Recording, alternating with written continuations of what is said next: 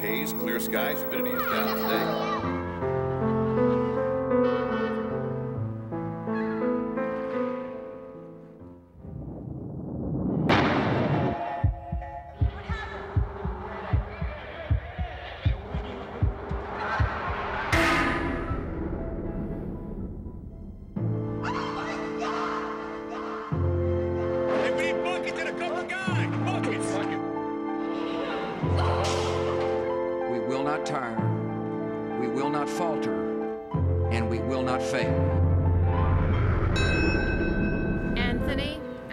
Alvarado. When the towers fell on 9 11, Lieutenant Charles William Garbarini. Cesar R. Garcia. there were the victims whose names we read every year. Captain Daniel James Brethel. And then there are the victims who read the names. Ryan Gardner.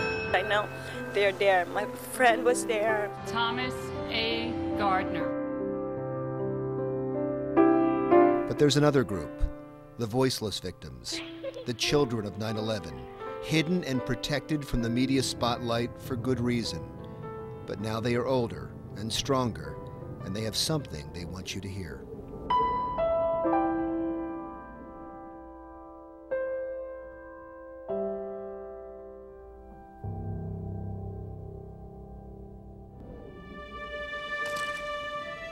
A family portrait of the Rodaks of Mantua, New Jersey. But someone is missing.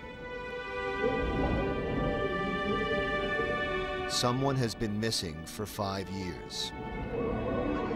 John Rodak was on the 104th floor of the South Tower on 9 11. He was 39 years old. Leaving two daughters, Chelsea, now 15, and Devon, now 10, with so much still to say. And so they write letters, five years later, to Daddy. Dear Daddy,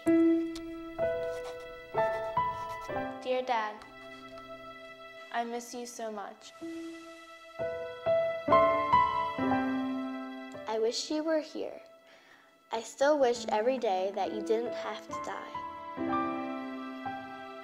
A lot has happened over the past five years. I've had so many firsts. My first softball game without you, my sixth grade graduation, my first choir concert, my first high school dance, my first play I was in, my first track meet. Over these years, I have played softball and volleyball. I still take acrobat classes. I can do a round off back handspring, back handspring, back handspring round. At night, I still sleep with your pillow. It makes me feel like you are there. I have a lot of firsts to come, and I know you'll be by my side facing them with me. Even though you weren't there physically, I know you were always walking by my side. I missed you calling me Goober and your big hugs. When you squeezed me, I felt loved. I really wish you could have been next to me, watching me do all the things that I love to do. Dad, you're not just my father, you're my best friend and my hero. My hero, my hero. I always wanted to tell you this that you were the most amazing person in the world. We all looked at you like our hero. But, Dad, trust me, you are.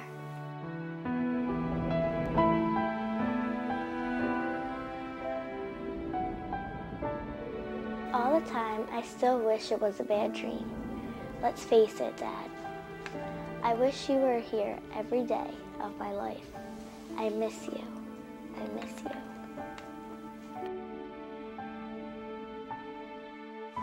A couple years ago, I had this dream where you told me that you were okay. As much as I want you here, I know you're okay. Good night, sleep tight, and don't let the bed bugs bite. Love always, your Chelsea. I love you like a crazy, always and forever, your diva. Letters sent with love. Somehow, you have to believe that Dad heard every word.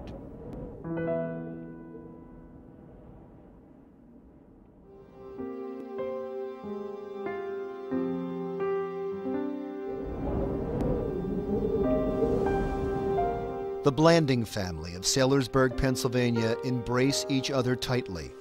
They know just how quickly someone you love can be taken away. Harry Blanding was on the 89th floor of the South Tower on 9 11. He was 38 years old, leaving behind his wife Debbie and three children he barely got to know. Haley is now nine, Jeremy is seven, and Benjamin is six. The children find comfort in their dad's memorial garden, but the strong arms that once held them are no more. And so they write letters to hold on to Daddy. Dear Daddy. Dear Daddy. Dear Daddy. Hi, Dad. I can't believe you've been gone for almost five years. I miss you every day. Dear Daddy, I went to my first Yankee game. I was sad because they lost. Dear Daddy, I am in kindergarten. I didn't cry. I miss you. I'm in the fourth grade now. It's fun, but I'm a little nervous about the honor roll, though. This year, I'm doing hip hop dancing, which I am excited for. We went to Disney last year, which was really, really fun. I wish you could have been there. I'm like in second grade. I miss you. I made you this picture. It's the World Trade Center. That's my dad, that's me, and that's my brother, and that's my mom, and that's my sister.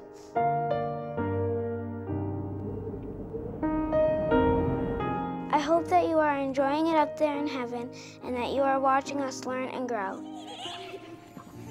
I wish you were still here, but hey, if you're happy, I'm happy. Love, Haley. I miss you. Miss you. Love, Ben. I play football. Love, Jeremy. P.S. I had a dream that you came back for a day and then went back to heaven at night.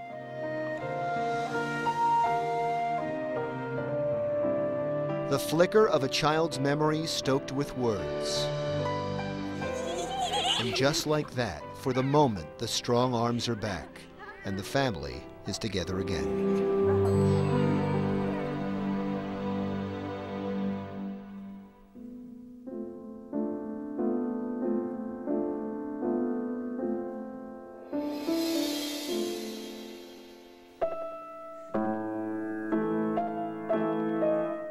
Mazurka in A minor, Chopin's haunting opus to loneliness. It has been the soundtrack to 15 year old Sydney Sherrill's life ever since that day that terrorists took her mother's life.